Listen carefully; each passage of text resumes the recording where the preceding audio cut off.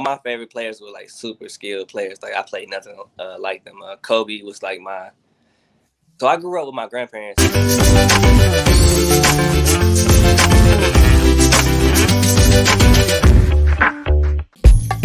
If you've been in the hobby for more than a day, then you know how fast the sports card market moves. There are now more options than ever to buy, sell, and research your cards. One of the most frustrating hurdles in the hobby is the fees when selling your cards. You know, those other popular marketplaces, the ones with their average seller transaction fee of 10%, the ones that don't have the seller's interest in mind. Wait, what? Who would do that? Well, hold on to your horses. No, not those horses. Welcome to the Card Flip, a place where we want to provide a simple alternative to buying and selling cards. No clutter, just you, graded cards, sealed wax, and the easiest of transactions. So, what do you say? Are you in? Great! Welcome to the Card Flip, the seller's marketplace. Hello and welcome to episode 10 of the Mint Condition. I am Joe, aka Bunch You Bets, and this is the only show on the internet where you can get watch me get fatter week by week. uh, we are we are excited to every time I come on, I get a little fatter, and you're you're seeing the evolution week by week. So uh, we are excited today to have an awesome guest with us. But first, uh, we got our other amazing co-hosts, Chamber and Dez. Chamber, how you doing, buddy? But I was about to say how svelte you looked. Oh yeah, because okay. because I shaved off.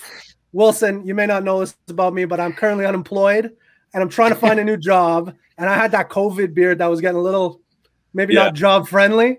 So I, I, after months and months of growing this thing, I'm like, I got, I got to shave it down. I shaved down about 10 pounds of beard, but found about 15 pounds of, of face behind it. So did not like that very much. uh, and the skinniest co-host of us all, Dez. Dez, how you doing, buddy? I'm doing good. You know, you just watch these in reverse and you get skinnier. So That- that's- for all that's the the viewers, key. just watch it in reverse and you'd be all right. Um, no, I'm doing good. I'm excited. Uh, great guest today. We actually share something he doesn't even know. My middle name is Chandler, so always have had a Oh. connected connected name to that, and I appreciate that. I'll tell you what, not many people rocking the name Chandler out there, so I appreciate you what you do for it. That's awesome. And of course, our guest today, Wilson Chandler, former NBA and uh, NBA player and New York Knicks great, I will say. I'm a, a big Knicks fan, so I appreciated watching Wilson over the years. Wilson, thank you for joining us today. Glad to have you. How you doing? I'm good, man. Appreciate you guys for having me on the show. Uh, big fans. Uh, spoke to a couple of you guys and uh, Twitter uh, chats, you know, a few times. So uh, just happy to be here. Thank you for having me. For sure. So we're just going to uh, we're just going to chat today about what's going on in the NFT space, the Zed Run space, uh, little Top Shot news. We got a lot going on, but first and foremost, let's talk about your journey into kind of the crypto space, NFTs. How did you, you know, how did you go from being, you know, bas- NBA player to uh, NFT creator? Um, I guess, I mean, for me, it was easy. You know, um, I was in the crypto space around like 2017, 18, kind of Nice.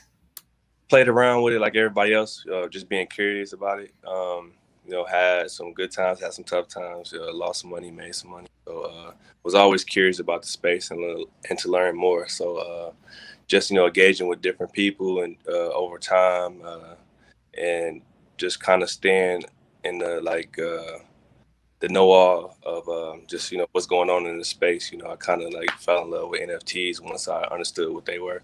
You know, just from a you know it's a familiar place. You know, as a kid, you always have you know basketball cards, uh, with Pokemon cards, collectibles in general. Like if if it's toys or if it's uh, comics. So uh, that was a familiar uh, way, you know, for me to get into the space. And uh, same thing with the uh, NFTs that I dropped. You know, I used to collect shoes.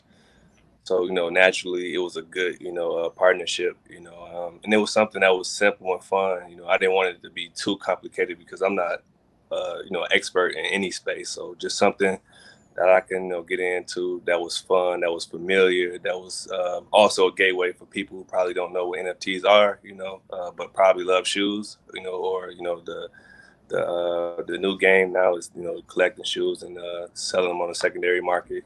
Oh yeah.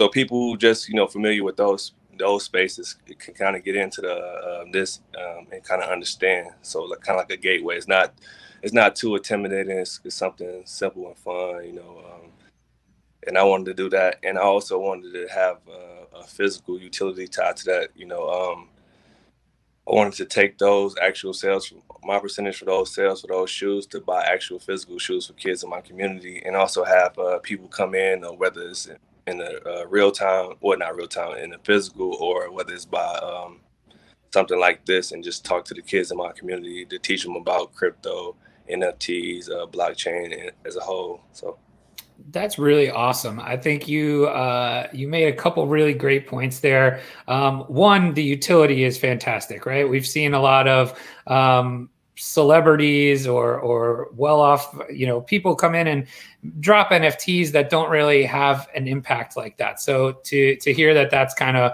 uh, what you're doing with those proceeds that's really awesome. And and that is you know um, attractive for people to get involved with. And uh, the other piece i thought was really interesting and it's kind of what you know gets me about the whole NFT space and collectibles in general is the nostalgia piece, right? Like you mentioned, you know, going back in the days where you used to collect and trade Pokemon and, uh, you know, sneakers and things like that. I think the nostalgia piece is what is so attractive to me about the space. It's because it's just so much fun, right? Like, uh, you know, I I got into crypto around the same time as you, 2017, and um, I believe we're around the same age. I think I'm actually a year older than Wilson Chandler, which is kind of weird to think about. and um, the uh, but to me, it was like you know, I and I've spent the last couple years messing around doing things like trading and uh, you know things I'm not good at and don't love as much. And I think this is why I like the NFT piece so much. Uh, it's because it's fun, right? And and I think you you hit that right on the head. Um, Chamber, any thoughts there? You said that he was younger than you, and I looked up his age, and you, I forget how old I am. and I've, I've, been watching for so long. I'm like, how is he? How am I five years older than Wilson Chandler? this is impossible. I am, uh, but I, I, look at guys now, where you know I'm, I'm a big LA guy. Um, like look at a guy like uh, Talen Horton Tucker. It's like 20 years old. I've been watching him for like two years. I feel like he's like my age. I'm like, this guy could be my son. Uh, it's, it's, crazy. I'm old, I'm old as time, man. I'm old as time. Uh, That's really uh, funny. so, uh, Des, you've got Wilson's uh, NFT project on that screen behind you. So, uh, tell us what what we're seeing on the screen there behind you today. Yeah, I tried to get you guys to ape into this. I remember on the drop day, it was like uh, 1 p.m. Pacific time, and I was like, "All right, guys, we got five minutes till the Wilson Chandler drop." Yeah, it was so fast. by the um, time by the time you told me, by the time you like really told us about it, it was like gone, right? It was that yeah. fast. Yeah, no, it was uh which I didn't understand at first. I thought it was kind of like a normal sneaker drop where, you know, you drop and you got to be the first ones to get it. It was actually cool and I think to your benefit and the the proceeds benefit um, that you did it like an auction style. So they went on the auction block, and then there it was pretty quick how, how quickly it ended, but um, it was awesome. And I, am sure you got Wilson. You got plans to drop some more releases from this kind of series? Yeah, I'm gonna do. Uh, I think we did 40 uh, something pairs that dropped, and um, so we have another uh, 60 or more to drop. So. Now they look. The design is the the voxel like uh, design on those. Now the first thing I was thinking about is, can I put these on my character in the sandbox in the metaverse? You know, what, like, uh, can they be on my avatar? Is that something? Do you know, Wilson, if that's possible? Um, no, not not on uh, sandbox. It's another one I think it's possible I don't know if it's possible to have them on the avatar, but it's possible to have them in that uh, that metaverse. Um, really? That's cool. Yeah, I think uh, another one, crypto uh, vox or something like that. Yeah, there's crypto yeah. voxels. Yeah, that that might be it. Yeah. Voxels. Uh, that's a that's a, a site that you're able to use those on. We'll, we'll, we'll build a Wilson Chandler shoe store on our in our on our land that we own. Uh, I kind of wanted to do that. I, you know, when we, we, so Wilson to catch you up, we uh, we all on a very like lonely Saturday afternoon decided that we were going to be land barons and bought a whole bunch of land in um, in Sandbox, which is sim- similar to Crypto Voxels, um, kind of like pixelated creation like this. And we bought it, and then oh, that moment of oh shit, what do we do with it? you know, what do we do with our land? And the first thing I, I went to was like something like this, where you can sell these and like a like it would be in a real life shoe store, but then you go play a, a pickup basketball game in the metaverse and you get to rock these, or you trade in your uh, moment, uh, your NBA Top Shot moment, and you get the jersey of whatever moment that was, and you can rock that and play it. And so, yeah, I just I think that's that's a really cool aspect, and I, that's what attracted me uh, to these so quickly is like, oh yeah, we can actually use these in the metaverse. So yeah, that's cool. Those guys did a great job. You know. Um, creating that company, uh, Crypto Kickers, you know, um, and just being kind of like one of the first of that that uh, that space, you know, in the in the metaverse, you know, um, and they were they were super easy to work with, you know. Uh,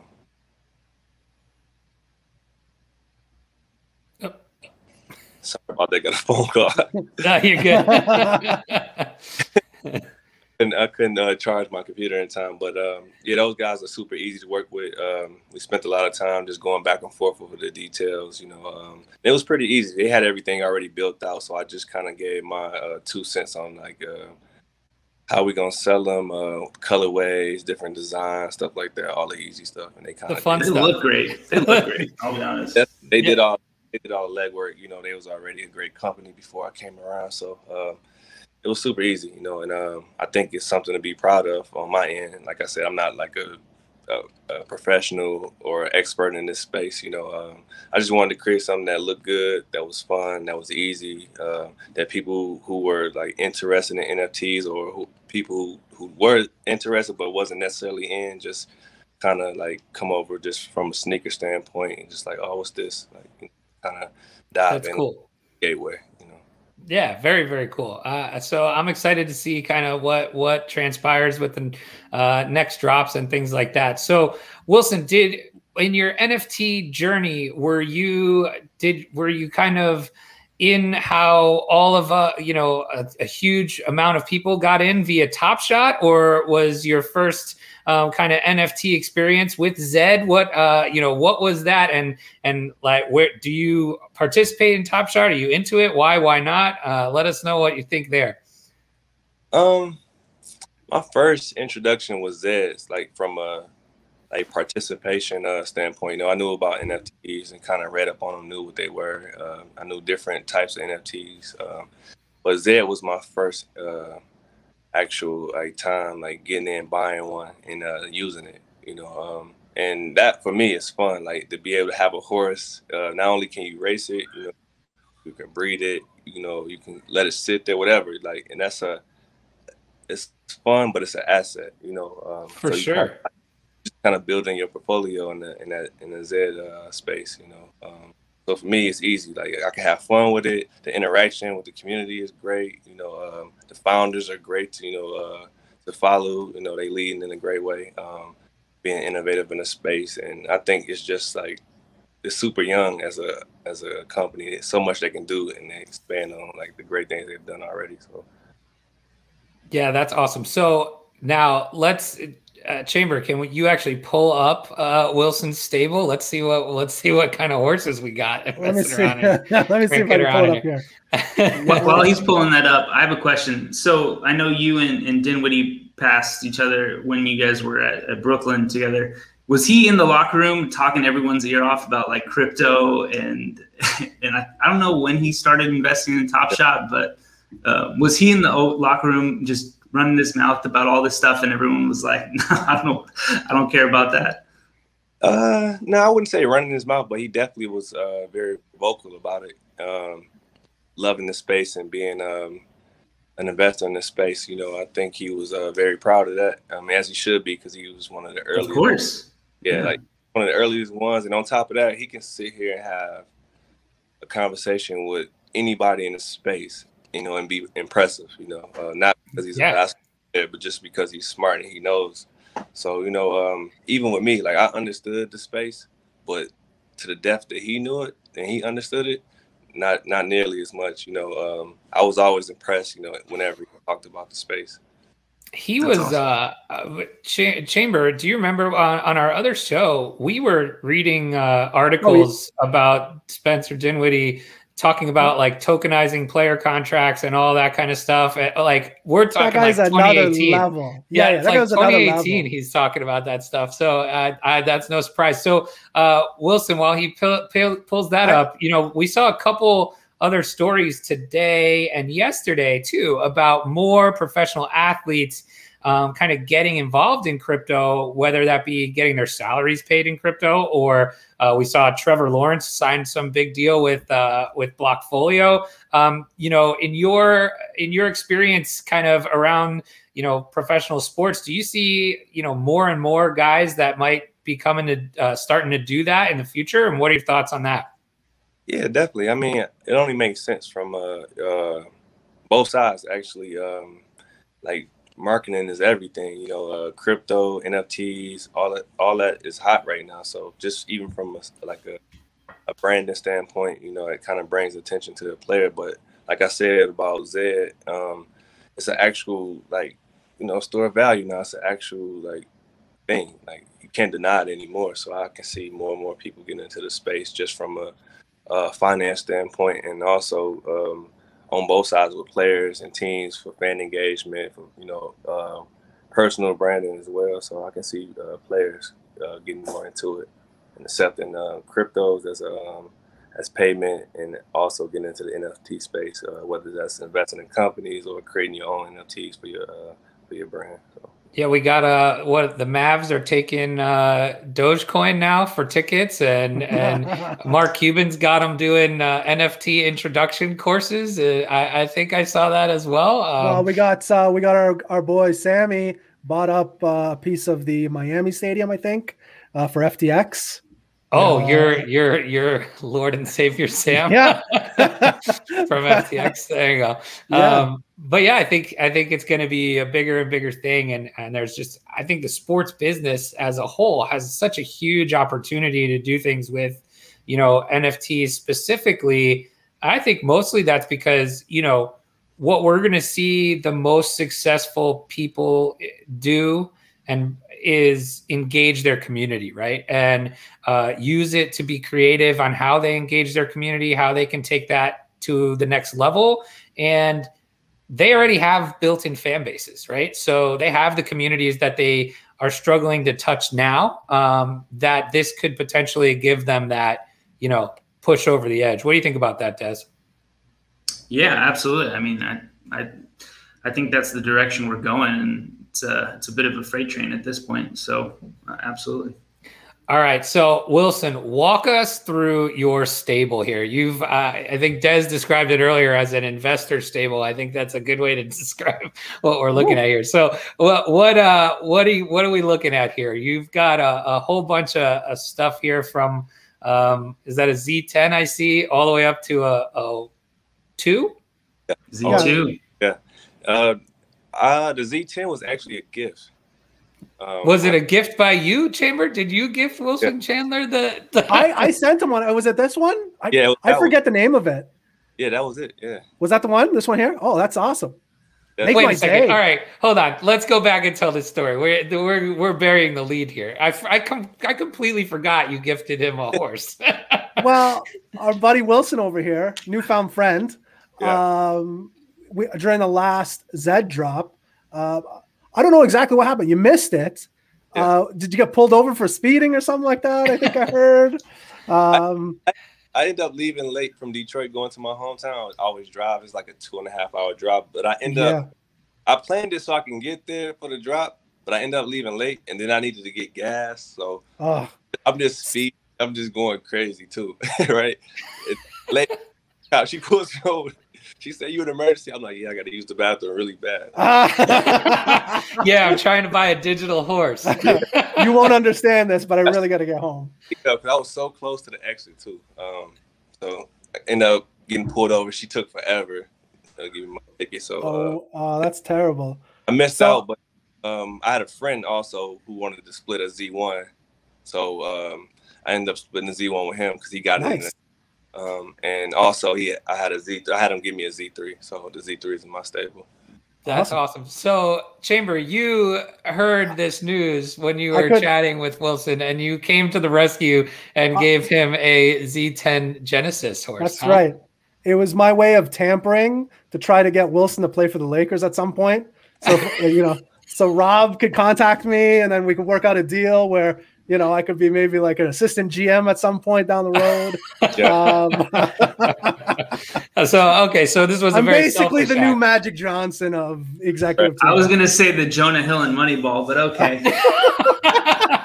I like that way better. That's probably closer. That's really funny. So, oh, you've got a Z10 Genesis unraced here, uh, or or was it raced? No, I haven't won anything. That one's very well. Dog. No, you dog. gave him a dog. There you go. But so you uh, got a couple of uh looks like you got a Z yeah, so Z3 unraced, Z4 unraced, uh another and then two other Z3s, but then you got a Z2 Nakamoto that seems like a winner here. He's solid. I love him. Yeah, this is a nice horse. Yeah. He's oh, is that a 15% win rate? yeah, there? 73 races, 11 first place wins. Not bad. Yeah, not Class bad. two, huh? Yeah. It's like borderline class two, class one, right? That's 80? 80, yeah. Oh, yeah. So you're right on the cusp. Yeah. So how has it been? Obviously, you've gotten you've gotten your uh your legs under you. You've raced him 73 times. What you know, what's your favorite part about the um that part of the experience? I actually um I don't know how many out of that 73 I have, but I bought him race. Oh, okay. And um he wasn't at 15%. I think he might have been at like 6% at that time. Ah, so you're a pro trainer now. Call you Bob Baffert. Yeah. That's awesome. From a guy, you know, um, that I met through a mutual friend, uh, Drew. Um, oh, so there you go. Shout out Drew. Yeah, shout out Drew. Got, um, so I ended up getting three or four horses from him, and that being one of them. So he was already raced already when I got him, but since I've had him, like I want to say man, he's what doubled. So.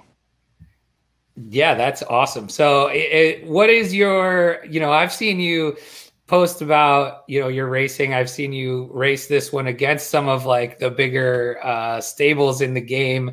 You know, what's your what's your favorite part about the actual racing experience?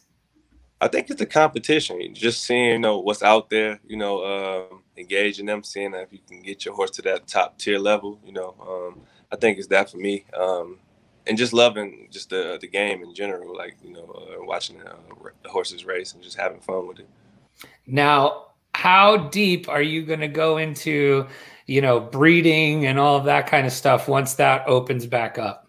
Oh man, I'm going. I'm going head first. Uh, I think chance, you know, because the you know, whole thing happened, but uh, I'm definitely uh, ten toes in that. So I yeah, most of I would say most of us didn't really get a chance. It was open for what a, a day, twenty four hours, a uh, little like maybe thirty six hours. I maxed out everyone I could.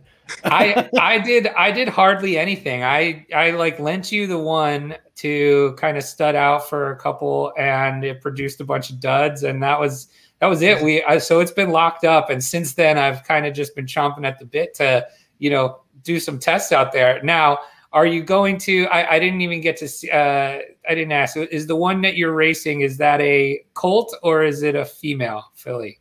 That's a male. I think. Okay, so yeah. are you going to throw them out in this? Are you going to throw them out and have people pay you to stud them, or are you going to kind of try to maybe do it in house a little with what you have here? What's your What's your strategy going to be? Um, I know I got a couple of friends who have some Z ones, you know, uh, female. So I, that's I think I'm gonna go with that. You know, just something, you know, um, more sure. Yeah, I, I think that's a, really good point. I, I think you know, Des, that kind of goes to um, how much it really is kind of a community game where you bring your friends in that you know have what the puzzle pieces that you need, right? And you kind of chat a little strategy, make a little deals. Uh, what do you think about that? Yeah, I mean, I'll I'll take a take a second here to pump my own bags and uh, pre-promote something I've been working on with with your buddy Drew Wilson. Um, but you know, I think a lot of users want to get involved, and, and very similar to in real life racing, where you know there's these fractionalized own owned stables, right? it's not just a single owner, but it's a group of owners, it's a group of friends, and it requires a little, just a little bit of maintenance for them, but they still get the excitement and the thrill of winning a race or having a great horse. And I think that's going to be, you know, so big for uh, how Zed expands is the people who maybe don't have, you know, four hours a day to like do all the analytics and race horses, but still want that feeling of having ownership of something really awesome. So, you know, I I think that makes total sense. Um, and you know, I think I think that's where it's going. I think it's a group game. I think it's a community, and what you're going to see is, yeah, these big stables come together and have a whole bunch of. I mean, that's a great horse. Come at me would be, you know, a feature in a lot of people's like kind of breeding patterns and things like that. So it makes sense. Yeah, I think so. Are we talking fractionalized horse ownership? Is that what we're talking about? Here, yeah, what we're talking about is Wilson and I will eventually own horses together in a stable. So he doesn't know it yet, but could you tokenize the NFT? yeah, you. Oh, you absolutely could. You could just oh, make yeah. a token that one hundred percent. I can't believe that light bulb just went off in your head, Jake. well, the lights, the electricity doesn't run too hard in here, you know. Uh, so but yeah, I mean, like that that's what's gonna happen when people own tracks, right? Like you're gonna have ownership groups of tracks that'll be pretty much divided by tokens, the community token, right? And you're gonna probably buy into a token that represents ownership in a track. And you know, however much you own is your share of either the governance or the profitability of, of whatever happens. And um, you know, I, I, think that's kind of the future of what you're going to see with when when they're talking about track ownership and stuff. So I wouldn't I doubt if you see the same thing in horses as well. I actually have a question, and I'm probably not the forum to, to have this discussion, but do either of you guys know if you if there's a smart contract right now that exists where it pays out on the ownership of the token. So like a dividend, but for for shares of the token. Well, so like I know, you know, if you do, uh, this is kind of just a half knowledgeable answer. I know, like when you do, there has to be because like when you do staking rewards, right? Like if, if that that automatically pays out based on the amount you're staking, right? So say you, you know, you could do it the same way, almost totally DeFi, where you have the the pool, right? Uh, you're providing liquidity to the pool so people can come in and out and buy trade ownership. And then as much as you're staking, you would get rewards based on that or whatever, right? Um, you know, groups like there's definitely social tokens out there like the whale token um, that have things like that. Uh, so, you know, I know it's out there. I'm not sure about the smart contract piece, but I feel like it has to exist. Wilson, you know of anything that we that could help Des out? Um, Wilson just needs to know that eventually we're going to own a, hor- a bunch of horses and a track together. So that's all he needs to know. well, Wilson, do you do you have uh, interest in you know the future when they do open the tracks, uh, like when they do have track ownership and things like that? Is that something that you would be interested in? Yeah, definitely. That'd be dope. You know, um, kind of like you know investing in a team. You know, you got a group that's going to buy you know professional team. So like, uh, so I think it's similar to that, just on a very uh, smaller scale. You know, just to have you, your friends invest into a track together and just have people racing on it, that'd be dope. Yeah, I think, uh, and then you know, there's a whole business that you could do around it. We were talking about, you know, selling ads to these big races, and you know, if you've got come at me who's a class one horse and he's going to be going head to head against billions in a race and you know you can promote that and people are going to tune in to watch like all of a sudden now you have potential sponsorship opportunities and and things like that. So um, i think that's really interesting for the future of the game. Um, wilson where do you kind of see down the road the future of this game going and how involved you're going to be? Um how involved I'm gonna be, I can't say, but um, the future of it, I mean, I can see from a sponsorship a sponsorship standpoint, I can see how that's gonna be major. You know, um, whether it's signs on the um, on the railways, whether it's um, you know um, sponsorships on the horse, you know, um, whatever it may be, or you know, uh, like you said, promotion wise. Uh, and also just the you know the sports betting side of it, you know, however that works, you know, um, then tapping into different markets like Asia, you know, um, and other markets that's not open right now. So I think you know, you know, and once you get Asia involved in anything, just from the, from the uh, so many people.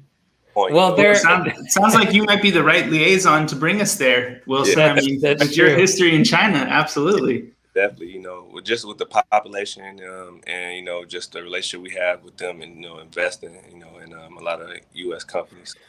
I well, they're huge into horse racing in particular, also. Right? yeah, that, yeah. You know, and just even for kids though, it's just fun, you know. So, um, but like you said, yeah, um, horse racing is huge over there, and just I think I feel like betting, sports betting in general over there is huge. So. Where Des, where do you see the future of the betting standpoint coming in? We, you know, we've talked about it. We hear it in all the clubhouse chats and um, the discords and things like that. What are your thoughts on where things like that might land? Oh, I mean, absolutely. It's 100% headed that way. I, I can imagine that there are quite a few barriers um, to, to get that up and running and, and the legality and all the compliance stuff. But I mean, 100% that's the way it's going. Um, how quickly they get there, you know, I think it's probably one of the things that they're prioritizing, but just will happen in parallel. There's a lot of other good stuff that they, you know, want to get going, like sponsorships, like we talked about, you know, big, big races. I mean, it's funny, the, you know, purses for these races are relatively small to how much people are paying for these horses. Um, and I can see that being one of the things that, you know, changes the soonest is, you know, some sponsor comes in and goes, we're going to do a $20,000 purse for a class one race. That's going to turn heads. As soon as that, you know, that uh, headline on Yahoo Finance goes, someone won $20,000 on a digital horse race today, it's going to skyrocket. So, Yeah, I think uh, that's going to be. I, I definitely think that's the future, right? Like you're going to get bigger purses. Um, you know, we had Darren Rovell on. He said that he thought maybe someday you'd get a purse bigger than the Kentucky Derby, and I mean that's pretty interesting. So, uh, hope you think uh, you think come at me is going to be running in the in the Kentucky Derby of Zed uh, Wilson. It depends. It, depends on the buy-in. The buy-in, buy-in. I'm, I'm in there. Yeah, that's that. So, do you have, you know, did you spend time when you were racing Come At Me? Did you spend time kind of honing in on its preferred distance? Did you, you know, play that whole strategy game? What was your, what was your, you know, experience doing that?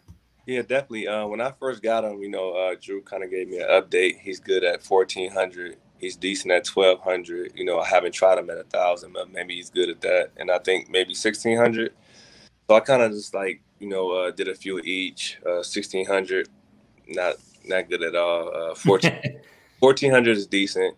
Twelve hundred is really good. Was good, and I think his his uh, hundred uh, or thousand, whatever you call it, uh, is really good. That's his best.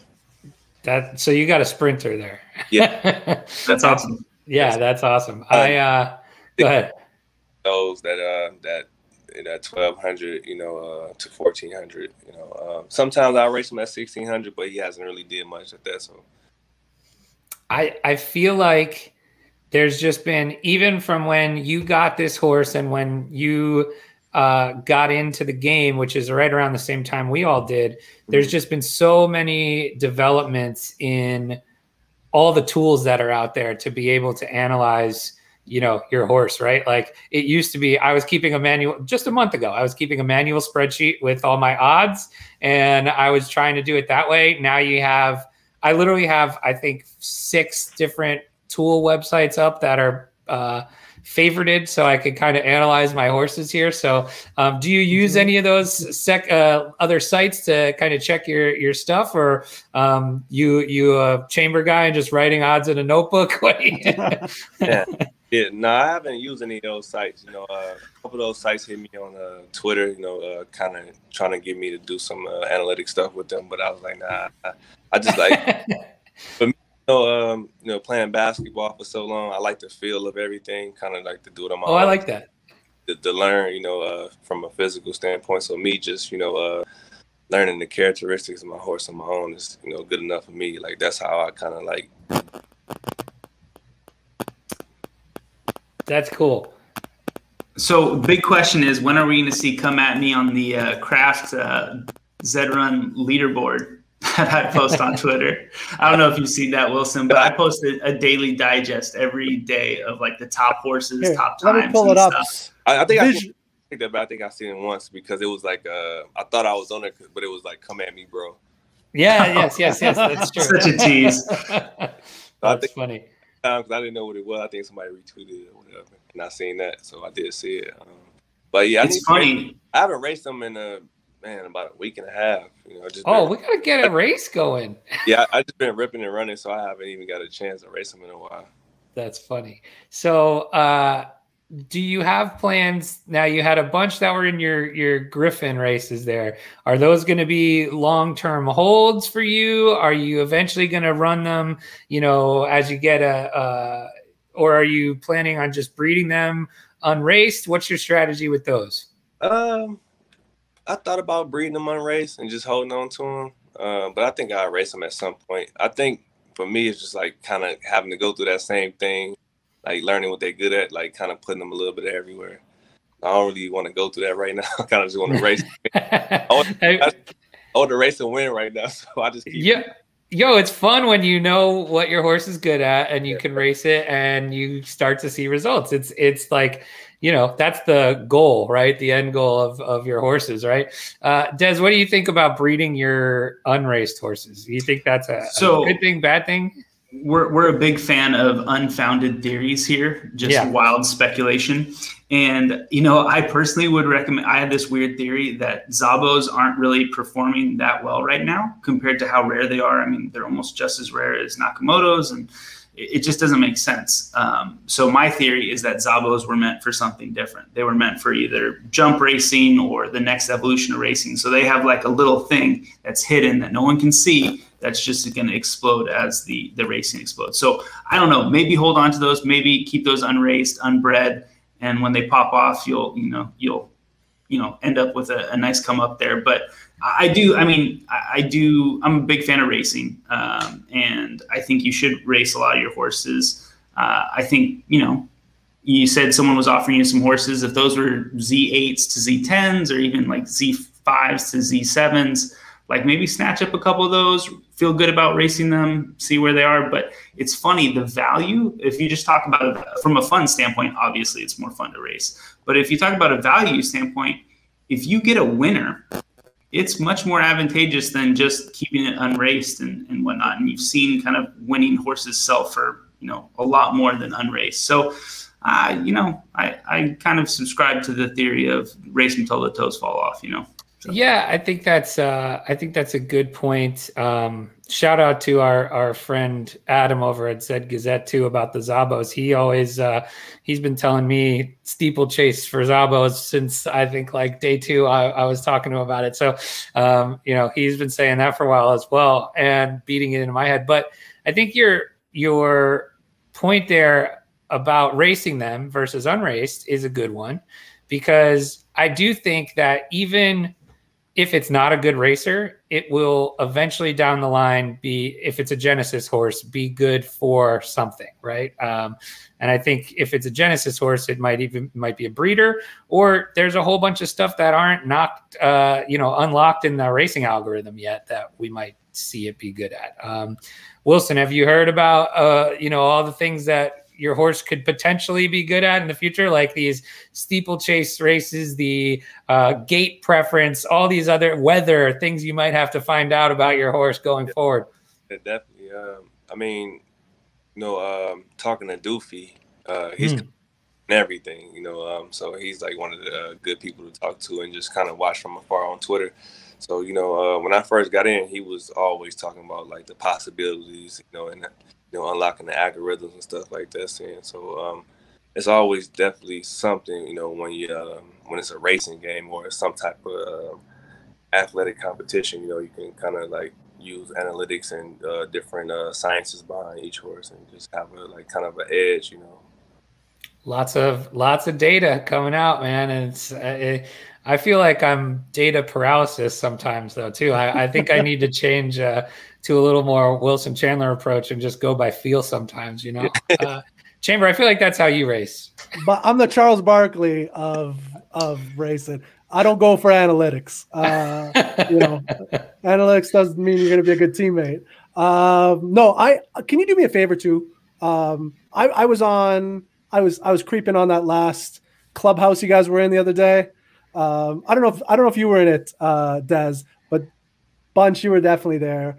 Can you let them know how to say Szabo? Because they were murdering that name. Just it's Everybody Szabo. does. It's a it's a silent S. Just just forget the S.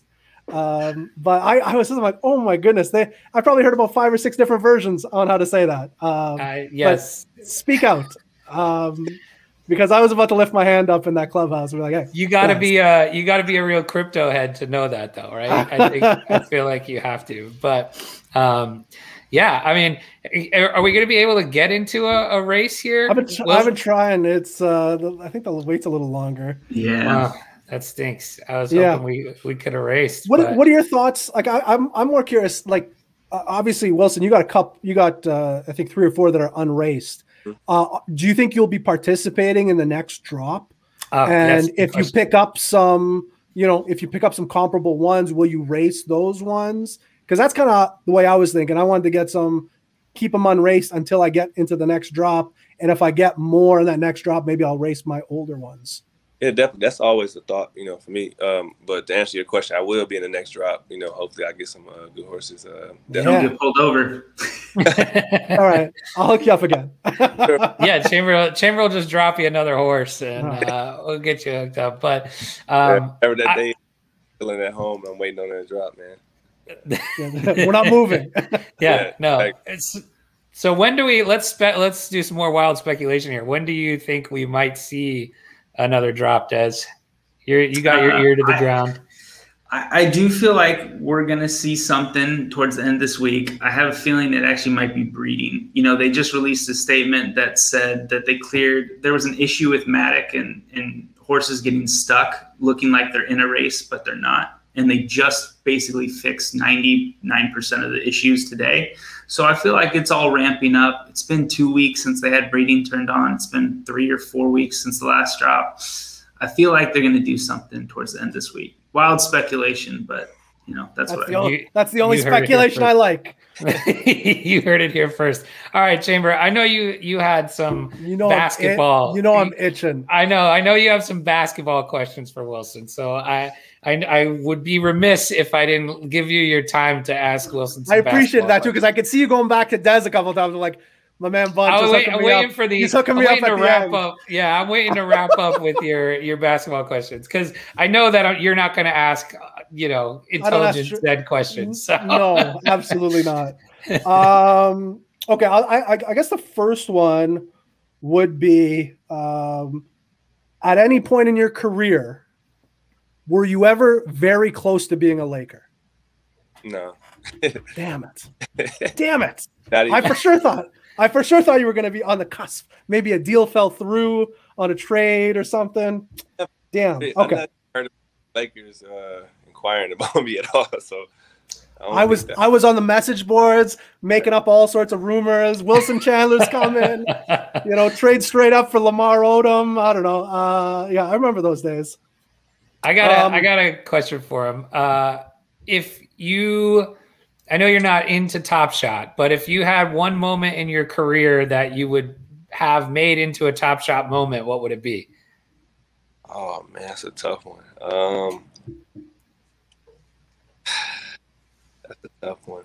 I would say just with everything that goes into it, uh, the garden, the fans, uh, the dunk. You know, uh, kind of like when I see um, like people post old highlights, it's kind of always one of the ones that's always in there, and that that'll be the uh, reverse dunk at the garden on uh, JaVale McGee. Uh, Oh, nice! I like that. That's a fun one. Javale's been on the wrong side of a lot of those uh, over the years. no, he's been on the right side a lot. You know, Oh yeah, man. I, I mean, that guy does. He doesn't. He doesn't skip a chance to try and block it. To try and block a shot. Um, actually smart as shit, man. He's one of the smartest players I've played with. He's on. he's- really? You know, uh, you know, everybody's like, "Oh, Shaqtin' a Fool," but he's he's actually intelligent and shit. I mean, I was. I think I watched every single every single one of his. Um, I don't know if you watched like his YouTube bubble videos Nah, last I- year. Oh, he's They were fantastic. They were like I watch it every day. Um, I thought they were really really good. But you could tell you can tell he's super smart. Um, I got a question. I think I know the answer, um, but I want to get your opinion. Playing in China, what what NBA what player that's played in the NBA that's gone over to China has had is like the most legendary player, like over the course of say the last. I think I know. Ever, right? Right. I mean, you got to say in the last 20 years, we'll say. Yeah, Stephon Marbury. He's I was gonna Stephon Marbury, it's right? Yeah, it's got to be Starbury. Starbury. Okay. It was crazy. It was crazy, right? Like how Michael Jordan and LeBron and Kobe. It's like over there. It's like who's the best? Stephon Marbury. Like, it's like hands down. no doubt. That's Yeah. awesome. That's fantastic. Isn't that Uh, weird? What- Georgia Tech grad. Georgia Tech grad. Yeah. Um, I think I guess growing up, who was your who was your favorite? Like who was your guy? who was Uh, the guy that you modeled after? I, I never modeled after anybody. Yeah. Uh, No. I would I would like to I would like to you know, think I did, but no. Um, you know, all my favorite players were like super skilled players. Like I played nothing uh, like them. Uh, Kobe was like my. So I grew up with my grandparents, and my grandmother, uh, like she was Chicago Bulls, Michael Jordan, everything. Right. Because you weren't too far from Chicago, right? Yeah, Hour and a half drive. So we got Yeah. W, we got WGN, which which was the Oh, local yeah. Chicago station at the time. They showed all the Bulls games, and um, every every game, like she never missed a game. Like Really? Know, it was always Michael Jordan in the house. But like when Kobe came, it was like I was older. I was like junior high, you know, um, sixth, seventh, eighth grade, you know, and then on. Um, so he was like the guy that you know we grew up watching, you know, uh, and kind of be our Michael Jordan at that time. So Yeah. I would. You know, those two from those uh, standpoints, and then it was a lot of guys I loved. Kevin Garnett was one of my favorite players. Um, Jamal Mashburn was one of my favorite players. Penny Hardaway, um, Allen Iverson, of course. You know, just Allen Iverson, of course. yeah, Allen Iverson kind of just like transcended the game. Like if you got tattoos um, in our generation, it was because of you know, Allen I Iverson. swear he started like the the sleeve, the finger. I mean, he he he really did. He was kind of a pioneer in a lot of that stuff. And you know, anyone who Lifestyle. wasn't emulating, you know, Kobe on the court, they were emulating Iverson at that time. I was a huge basketball player growing up, um, and uh, yeah, so I dreamed dreamed of where getting where you were. So that's awesome. Yeah, I definitely. Um, but you know, everything is you know a little easier than we think. You know, um, I couldn't do what you guys do. You know what I mean? Just like What?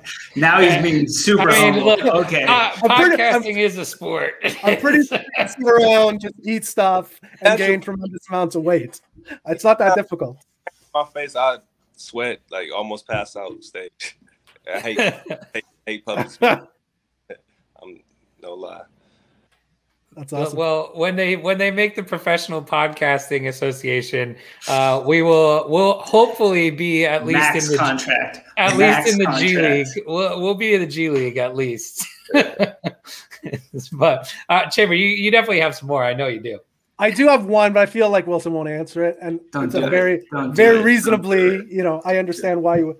Come on, we were you- just talking about it. Did you have? Uh, oh wow. Okay. Well, I'll bring up. There's two things I want to bring. up. First thing I wanted to bring up was, did you have a like a worst teammate of all time? We Nah, talked about that. nah, Was I- there anybody that that's, that kind of sticks out to you? Nah, if I if I did, I would say it, but I literally never had a Everybody was pretty good overall. yeah, like I never had nothing with uh none of my teammates. I've seen a lot of teammates argue and don't like each other. Um, Right. They love each other, so I, I How never about, how about your favorite guy to play with? man. I don't think I have one. Like you know, I don't have one. I have a, a list of guys. Uh, Nate That's Robinson, awesome. Q. Cool. I mean, that, that whole first Knicks team we had Malik Rose, Eddie Curry, and all those guys. Like that whole team was uh, dope. Fun to be around. Um, Q seemed like a good guy. Like Quentin Richardson, I'm yeah, like that, he seemed like a good dude. yeah, great guy. Zach Randolph, great guy. Um, uh, Darrell Arthur, you know, uh, Will Barton. Uh, so many people. Jameer Nelson. I talk to Jameer all the time. Like, Really. talk to him the most. Um, Al Harrington, Hmm. J.R. J.R. Smith. Like I had a lot of great teammates. You know, I, I liked all my teammates for the, for the most. That's awesome. I can So- see I can see a uh, I can see a locker room of NBA players just betting on Zed horses. Like I totally can see. that. generation right now, I can definitely see that too. Like, like once they get into it, I can see like that happening. Like even on the plane, I can see like guys connect. yeah, for sure. so I gotta ask. Um, I'm I'm a hu- I'm a huge Kobe Bryant fan. Yeah. My three my three favorite Kobe games um, are in order. He's so nice to us. Chamber. I know. He's so I nice ask. to us. Jesus. I gotta ask. What was it like? What was it like? You know. Yeah. yeah. The 61 at the Garden. I remember watching it, losing my mind. Uh, it's my third favorite Kobe game of all time. Yeah. How was it? It was probably the most unbelievable thing I ever like saw, like with my own. eyes. Right? Like I, I, I agree. Like from a competitive standpoint, at the time, like definitely was mad, embarrassed, like all type of like feelings. But like as I like watch, like as I get older, like like I forgot about that a long time ago. Like I was watching, it was unbelievable, bro. Like I don't and care. it's not the, and it's not the same way. Like I feel like Jalen Rose gets dogged for the 81 point game. Like there was the you ever see like the commercial where Yeah. Kobe's at the restaurant and he's like, How many olives? He looks at Jalen, looks back at the waiter, he's like 81. at least you didn't get a commercial, but I would say that's my that's my number three game. Uh, my number two is 81. Uh, Yeah. But my my favorite game, my favorite Kobe game is his last game. I thought that was to me the craziest Kobe game of all time was his last Yeah. one. It has to be. It's like picture perfect. It's like a movie almost. Like I'm retiring. You know, after Achilles injury, the last game of my career, I scored 60 in LA. Like, you know, in- with every celebrity on the side. Everybody was there. Everybody was there. because I remember, I remember, um, I remember that because I don't think we were playing, but that wasn't that wasn't scheduled to be a TV game, No, you're right. and it was like the Warriors, like they was playing somebody. I think that was like That was, I think that was the Lakers' 17th win of the season. yeah, Like that was the last game of the season. Was their 17th win. yeah, and I think It was- the- somebody else was like the main game of the night. So I remember. I think that. there was. I think there was like a Golden State game that night. Yeah, and I think I remember like after like the game was over, that's all everybody was talking about, like Kobe everywhere. Like it was sick. I was to me that was nuts. I, I was I was losing my mind. I remember just yelling and screaming at the top of my lungs in the basement. I live I live on the East Coast, so it's like one in the morning, Yeah. waking up my kids. I'm yelling, like, "What's wrong, Dad?" perfect ending to the perfect movie though. and Mamba out at the end. You know, and drops the mic. Mamba Yeah. out. Okay, I uh, I saw a clip yesterday, I think, that of him shooting the two free throws with the uh, with the torn Achilles, and I was just like, no, I like how could anybody ever do that? It's insane, and he like makes it look like it's nothing, but That doesn't uh, me emotional right now. Jeez. yeah, I know, I can tell, I can tell you, you got, you, I think you're tearing up under I there. don't know. Don't get started. I made a whole. There's a Bunchu and I have a, another show, and after his passing, I think I think you let me rant for like 20 minutes. There's a 20 minute Oh, yeah. Eulogy Yeah. on, on our other show, just Kobe. Uh, Yeah. Has nothing. To, we have a crypto show, just like a straight crypto show, and it, there was t- like 20, 25 minutes of me just ranting on Kobe, uh, giving the proper eulogy. Yeah, But uh, yeah, no, that's. Uh, I was I was interested to get. Obviously, you had a, a bird's eye view of of of that game. no, no, Um, it was a dope experience. Uh, just happened to be on the wrong side of that. Sorry, did you get the like? I'm trying to think. Did you get like the bulk of it, or yeah, I Did did. You- I got all like the, the spectacular ones. Like I was the guy now, you know, at the end of the game. So like if I didn't get the whole thing, like just from highlights and just you know uh, watching ESPN those times, like he definitely got all of that. because you're like the top defender on literally every team you've been on? Yeah. So that doesn't shock me that you got Thank you, to, you have to try to lock him up. No, yeah, That's definitely. I've, I've been a part of a lot of uh, high scoring uh, individual games. You know, LeBron, KD. Like you guard so many great players. Like sometimes, like your only defense is like the hope they miss. You know, you play your heart. like they so good. You know, it's kind of like they make like I think people forget how good NBA players are. Like one through whatever, four, whatever it is. But like certain guys are so good, they make like a great player look average. You know, just right. Well, I was watching. Uh, there was like a YouTube clip that came out the other day of um, what's his name, uh, White Mamba uh, from. Bo- uh, he's uh, what's his name? I can't think now. Um, Scalabrine? Yeah. Scalabrine, thank you. And Scal was in the gym, like just like a Y gym, and he lit somebody up. Oh, I saw that. and he yeah. looked like me. Like Oh, I did see Scalabrine that. looked like he was about 30 pounds overweight and just lit him up. It was awesome. I think that's also great. Like uh, fans being able to associate with somebody, so associate themselves with somebody that kind of looks like them. I think that's why, like, I mean, the get me wrong, Yeah. Steph Curry is amazing. Like he's one of the best players of all time. But I think people look at him like he's not super tall. He's not super. Right. not, right. He doesn't have a lot of uh, muscles. He's skinny. You know, he's not that. Man, He's jacked see- up now, though. He's jacked up. I would take his muscle. I was gonna say, you see him in college at Davidson. He's like a string bean, man. He's tiny. That, that's like that's dope. Like somebody that good, like people can uh, like associate themselves with physically. Like you know, I think that's why you know people like love his game. yeah, totally. So who do you Uh, got? Who do you got for the? Who do you got this year? Who's winning it? I got. I got. I, I need your feedback. Is is it Brooklyn? Yeah, it's hard, Laker? man. Look, like I know. I They- they- know. had full strength for a long time. In a, in a long time, I think what maybe like a few weeks, maybe Mhm. all those guys playing at the same time. How about the Knicks? Nine in a row, baby. Yeah, like Nick, it's definitely great for the city, but it's like you know, it's a different level. I, I know. we can dream over here. Uh, I, the Knicks, you know, it is what it is. But um, uh, Nets playoff series. I think that'll be super Oh my- competitive. I think that'll go Oh, Saturday. Just off A of Nets. A Nets. Lakers. No, no, Nets and uh, no, if Nets Knicks. Oh, Nets. Knicks. Nets. Knicks would be nuts. Yeah, that would be That'll fun. great. Yeah. Yeah. All right. Okay. So Uh, I'm obviously I'm obviously uh, hedging my bets towards the Lakers. I think Drummond with AD once LeBron gets back, nope, you're, you're, it's unstoppable. Yeah, I mean, when LeBron is involved, you can never count him out. So That guy's cr- that guy's crazy. Like I was, I wouldn't say I was a LeBron hater, but I didn't.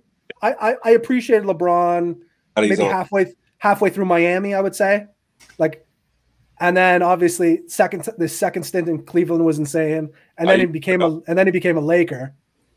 I got I gotta love him now. Are you sure you was a uh, not a LeBron hater before the Lakers? You love him. he definitely was. I wouldn't Yeah, say I a don't know what he hater. was lying about that. I wouldn't say a hater because I, I wouldn't say I hate on anybody. I totally like you know like there's some people that like irrationally hate on LeBron. yeah. So before Like- he came, you you was a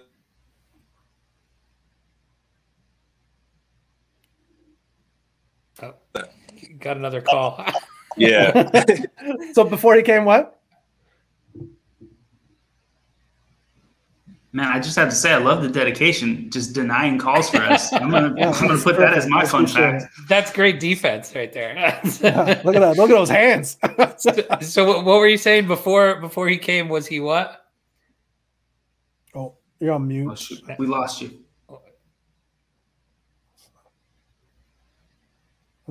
There you Still go. there? No, Uh,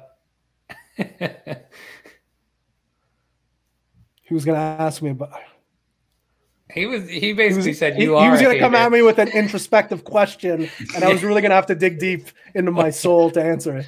I would say you're a Jordan hater, quite honestly. Well, I oh, yes, I'm a Jordan hater. I would No, say just, you're a Jordan hater. just curious, Chamber, because like Kobe epitomizes Lakers for you, and there was kind of that rivalry, non-rivalry there. Like when he, when LeBron said he was coming over, uh, my first reaction was not hell yeah. It was kind of like, ah, that doesn't feel right. Um, did you have the same thing? Um, I would say yes. It took me a full season to like accept LeBron as a Laker. Yeah, that's fair. Wilson, you back? Wilson's back. Yeah. All right, I got to know what the question was before LeBron came to the Lakers. What was your question? Yeah. Magic over LeBron before he came to Lakers. No, I love Matt. So kind of like you, actually. My grandma is kind of the one that got me into watching the Lakers because she loved Magic Johnson. Yeah. Um, and by the time I started, wa- I was like a little kid, and by the time I really started watching it, like unfortunately, Magic uh, had to retire. Uh, and then there was a whole other conversation that I had to had at a young age. I was just like, hmm, "What's going on here?" but uh, no, I always had LeBron. I would say by like 2012, I had LeBron in like a top five conversation, top ten all time. Wilson, he's a Jordan hater. You but I missed do hate, part. I do hate, I do hate Jordan. Wow. who hates who hates Jordan? he does because he's a Kobe. He's a Kobe guy. this guy. Um, I don't hate Jordan for what he like. He's obviously one of the greatest players of all time. But when I first started, you know, like in the Lakers, it was like '91. I was like I said, I was a kid. It was Jordan kicked out the the Lakers in in that or in the in the finals that year or nine, 90, 91, whatever it was. But whatever the year that was, it was just like, nope, I don't like this guy. This guy's no good. Uh, and then we had bad we had bad Lake well not bad Laker teams, but Yeah. not not Chicago Bull level teams for a Yeah. while. Uh, definitely. But no, no, J- J- yeah, LeBron over Magic for sure. Okay. But Magic still, obviously, Magic still. Who's the Who's the best player of all time? LeBron James? I think. Like honestly, like there's nobody that's done it. I, in my opinion, like I'd love to get your feedback. My opinion, there's no one that's done it consistently for this long, with so much pressure coming out of the gates at like 18 years old, like even before that. But like makes like wins where like wherever he goes, he wins. Like he took that like that like that Cleveland team he took to the finals that first time with like Eric hmm. Snow and like Decent big, not- big Z. Like I mean, that's crazy. That's he was 20 years old or however he was at the time. So you Like, said that's good at all? Like nobody on the team was good. I mean, if you put Kobe on that team, he wasn't getting to the finals. Put it that way. He wasn't getting to the finals with Kobe on that team. If you replace all right, well, Wilson, who's who do you think is the best of all time? Is it George? It's Jordan? Man, it's hard to say. I think, I, I, to be honest, I'm one of those guys. I don't think it's a bad answer because like people grew up with certain people. Like for me, it was that's Kobe. true. Like for some people, it was Jordan. But it's a lot of people who say Kareem or Wilt, like who've seen those guys. You know. Um, so, I, I I always think it's always going to be better. So like in 15, 20 years from now, there'll be somebody better than LeBron because regardless of the sport, I think as a sport continues to grow, you're always learning from the from the players or the athletes that came before you, right? Yeah. So without Michael Jordan, you couldn't have Kobe. Without Magic Johnson, you wouldn't have LeBron. Um, and so somebody's going to be patterning their game after LeBron, and it's going to be seven feet tall with guard skills and like a monster. Kevin Durant. Yeah, like Kevin Durant's maybe a little, but like a heavier, like 50 pounds heavier. I Kevin got you. Durant. I got you. it's gonna be a long Um, time before we see another one of those guys. That- I I agree. I like, but Maybe. again, you know, the game evolves too, right? Like if you and and I think it is to your point, Wilson. It's all about who you grew up watching, right? Yeah. Like, and because because we weren't appre like we didn't appreciate Wilt and Kareem because we didn't see them as much, right? Like or ever really. So um, I think that has a lot to do with it for sure. I bet you my dad would probably say something different, right? Like he would he would give me a different answer. So um, all I look at is the is the competition. Who are they competing against? I think that has. I mean, you look at Wilt. Wilt was going up against like part-time plumbers. I think at some points. we we we need uh we need Zed run style odds before uh before these games so we can know exactly what the fitness level is of the other players, right? That's true. That's the point. But I I think that's a good place to wrap up. Unless Des, you have any other questions for? No, this has been a pleasure. No, this has been a pleasure. I appreciate it. Yeah, I know Chambers in Candyland over there, so he could Made have my gone day, for another Wilson. hour and a half. yes, thank you so much for coming on. We really do appreciate it. And uh, so, where can people find you, and where can people find your project um, if they want to check that out as well? Um, CryptoKickers.com, of course. Um, that's the site, and then they're on Twitter. They're on Instagram. Uh, Crypto Kickers, um, OpenSea as well. Um, and then you know I'm on Twitter. Uh, it's my name, Twitter, and uh, same thing on Instagram. Perfect. That's we'll have those links. We'll have those links in the show notes, so anybody listening or watching, you'll be able to find those there. Yep, absolutely. And um, so that's going to do it for us. We again really appreciate you coming on. It's been a pleasure to chat horses and and basketball with you. And I'm I'm glad that uh, this is you've made Chambers' life really. That's I'm gonna be going up to my wife after this. I'm hanging up, and then for the next hour and a half to two hours, I'm just gonna be talking about this conversation. so and appreciate it, now, and now you're gonna, and so he's gonna send you a bill, and that's gonna be a, a horse from next drop, and that you're gonna have to. It's for fair. his time. That's, That's, that's more than perfect. But that is going to do it for us. Until next time, stay mint. Thank you.